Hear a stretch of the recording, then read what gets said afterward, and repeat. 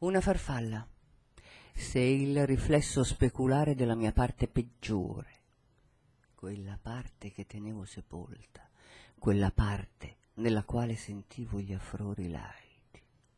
Provo vergogna, io, per me, e anche per te. Finalmente potrò dare una spiegazione, potrò farmene una ragione dell'averti incontrato, dell'avermi incastrato. Sei stato il mio maestro di strada, sei stato la mia puttana, la mia nave scuola.